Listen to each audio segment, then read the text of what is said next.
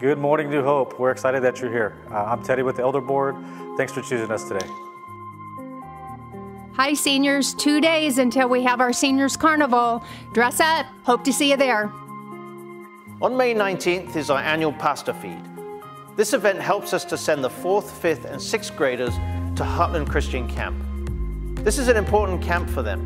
Last year we had a handful of sixth graders who were baptized here at New Hope who gave their life to Christ at Heartland.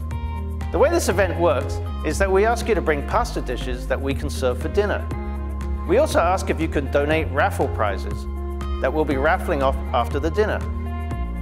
And then what we do is we sell you tickets so you can eat the pasta that you brought and raffle tickets so you can win the donations that you gave us. It's awesome. So join us on May 19th at 5 p.m. here at New Hope. Man, those breakfast burritos last week were amazing. Don't you wish our junior highs would go to summer camp every week? Please keep our junior highs in your prayers, and thanks for supporting them and all our youth here at New Hope.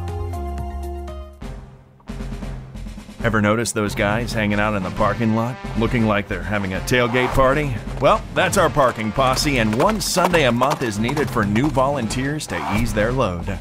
These fun New Hopians not only offer a friendly wave, but security for your cars during our services.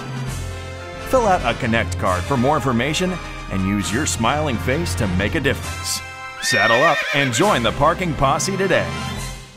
All right. Hold on. Uh, we're excited to have you here. Teddy with the Lord. That's not going to happen. Uh-uh. Can I just do New Hope, excited you're here? That's it? And we're, we're glad you're here. Yeah, that doesn't seem like it. Yeah. Yeah. Yeah.